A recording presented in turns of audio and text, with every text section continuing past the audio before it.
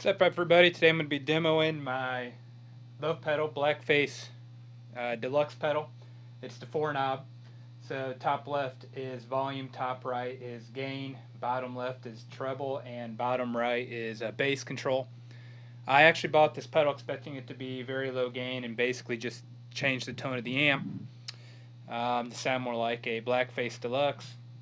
Um, it definitely changes the tone of the amp, gives it a much more Fendery kind of tone as you would expect. However, um, it's actually quite a ballsy gainy pedal, much more than I expected it to be.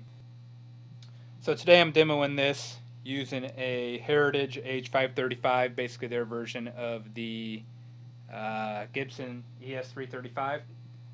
And I'm running it into a Marshall JTM45. Hopefully that gives you an idea of how it changes the tone, uh, going from Marshall to a Fender.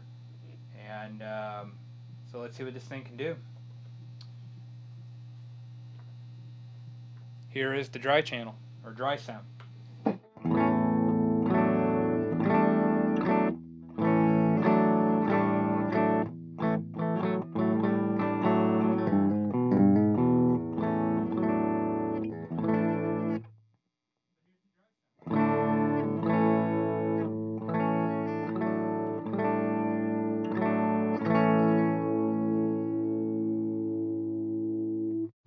And here we go. Um, right now I got to set up low gain, give you an idea what this thing does.